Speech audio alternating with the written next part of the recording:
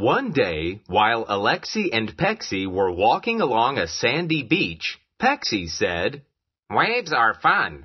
What makes the waves? Alexei said, I know that. The waves are made by the wind. As the wind blows, it pushes the water ahead of it.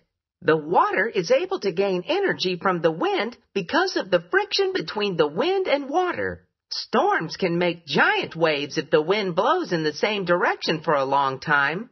How big are giant waves? Pexi asked. Giant waves are so big they could go over our heads, cover us up, and wash us away. Alexei replied. I do not think giant waves would be fun, said Pexi. I only like baby waves. I do too. Alexei giggled as a gentle wave washed over their footprints in the sand.